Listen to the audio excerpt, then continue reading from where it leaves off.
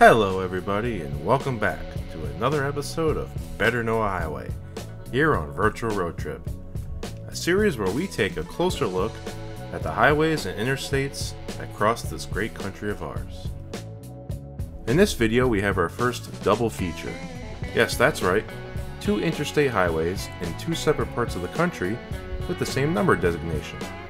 There's actually quite a few of these within the interstate system, and I'm not exactly sure why, as there are several unused numbers between 1 and 100 that could have been used, but that's the way it was set up, and so we're going to take a look at it. So let's get started.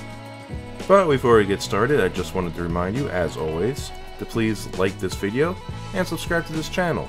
I always appreciate that. And make sure to check out the link for the VRT Discord in the description below for some interesting conversation and updates as well. And uh, most importantly, sit back and enjoy. Let's start with the eastern version of I 88, which is an intrastate highway, meaning existing in only one state, within the central part of New York.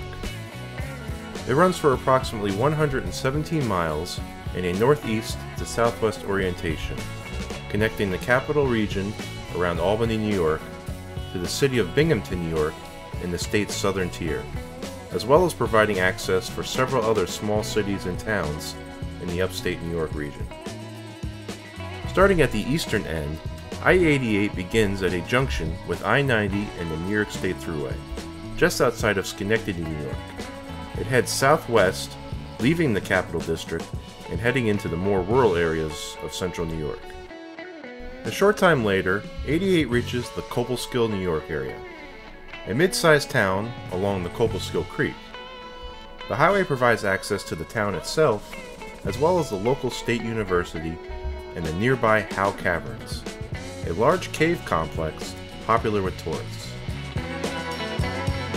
Once past this area, I-88 snakes through the rural countryside, dotted with many small farms and the occasional town, and closely paralleling New York State Route 7, which was the original thoroughfare through this region before the interstate was built. The two roads travel together for 88's entire length and intersect many times.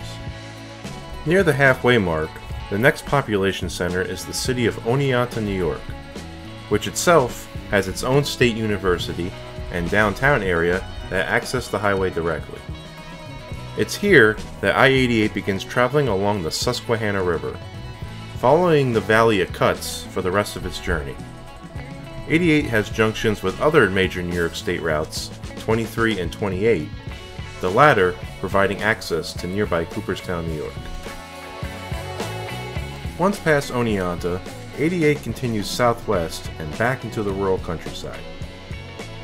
Passing towns such as Sidney, Unadilla, and Bainbridge, New York, it closely follows the Susquehanna, crossing it several times and turning more due west as it eventually reaches the Binghamton, New York area.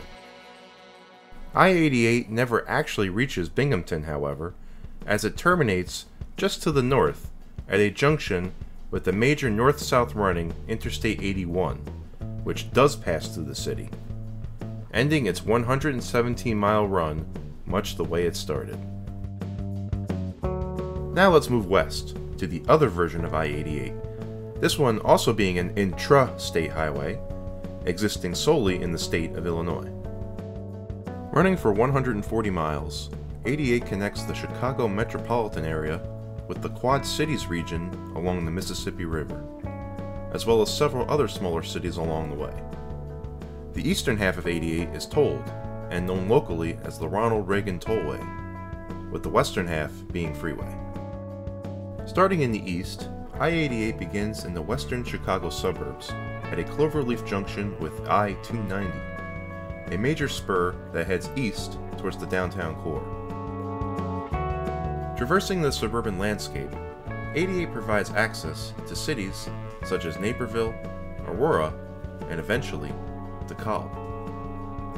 Shortly after this, it has a major junction with the north-south running I-39, which provides a direct link to the city of Rockford, Illinois to the north. Now entering the rural landscape of central Illinois, the next significant stop is the town of Dixon, This is the location of the last tolled section of I-88, and from here, it continues on as a freeway, while also making a slight turn to the southwest.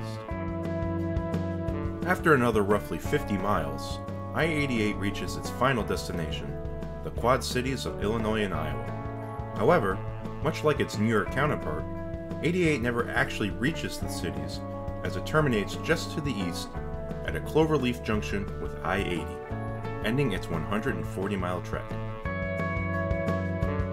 Well, that's going to do it for this episode of Better Know a Highway.